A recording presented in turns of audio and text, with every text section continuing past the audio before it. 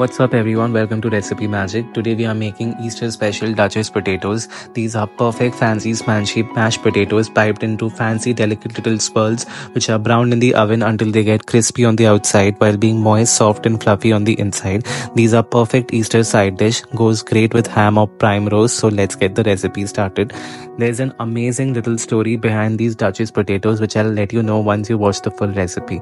So first of all you just want to grab a handful of potatoes and chop them up roughly and once you've chopped them add them to a pot along with some water and also some salt and cook them over low heat for 20 to 25 minutes so that the potatoes get perfectly fork tender now just check one of the potatoes so that it gets perfectly fork tender or not and you can see they are perfectly cooked within 20 to 25 minutes.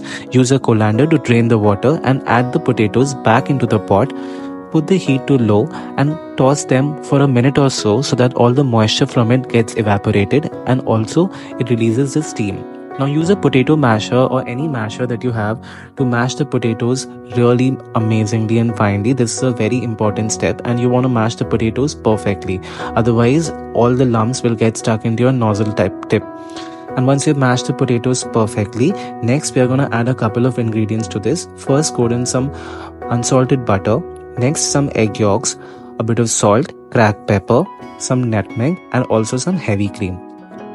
Remember to use egg yolks and not egg whites here. Egg yolks really help into holding the shape of these Duchess potatoes perfectly. So once you've used all of these ingredients, combine all of it together so that it gets well incorporated with the mashed potato mixture and you have a perfect gluey consistency of the dough ready. This should be resembling the choux pastry dough. And once you have made that, then transfer to a piping bag with a large star point into it and pipe the potatoes gently on a lined baking dish. Pipe them into a lined baking dish. Brush them gently with some melted butter so that you have a perfect golden brown top which will get crispy and delicious once these get baked. You just want to bake them at 425 Fahrenheit or 220 degrees Celsius for 20 to 25 minutes. Do not forget to brush them with melted butter because that is what makes these Duchess potatoes really fancy and you have the perfect golden brown crispy top which makes it so delicious and just perfect for the Easter season. And there you go, within no time my Duchess potatoes are baked and ready. These are perfect for Easter and they, I'll just garnish with some smoked paprika and freshly chopped parsley and these will be good.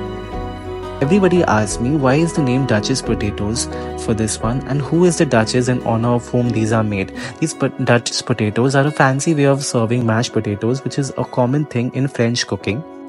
Also, the name spread from England and America, where people believe that fancy frilly patterns are also reminiscent of a shirt or a hat, which gives it the name of the Duchess potatoes. People believe that the name Duchess potatoes come from a French aristocracy which was popular during that time. Hope you enjoyed watching this recipe with me and learning this. Thank you so much for your time. Please subscribe to my channel for more such easy and quick Easter recipes and have a great Easter everyone.